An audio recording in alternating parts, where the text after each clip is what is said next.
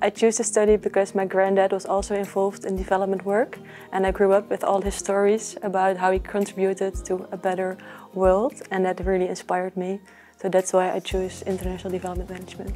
I'm very enthusiastic about this study because we learn a lot about very different topics and throughout the whole study you can pick the topics you find most interesting. You can also do this by majors and internships. You learn a lot about sustainability, how to improve people's livelihoods. We learn a lot about the development goals, how we do research and actually uh, know the facts in our work field. Uh, the study is divided about 50-50. All the theory we learn, we can apply this in practice, in our uh, field trip and we also have a lot of internships where we can apply everything we learned in the lectures. The atmosphere at Van Hall Larenstein is very relaxed. We have lots of different nationalities, which makes it very valuable for me. We have a lot of opportunities to ask questions. Our lectures are all very open and the students as well, so that's great.